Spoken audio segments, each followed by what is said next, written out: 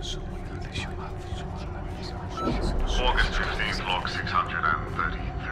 Uh, I awoke with the incredible idea to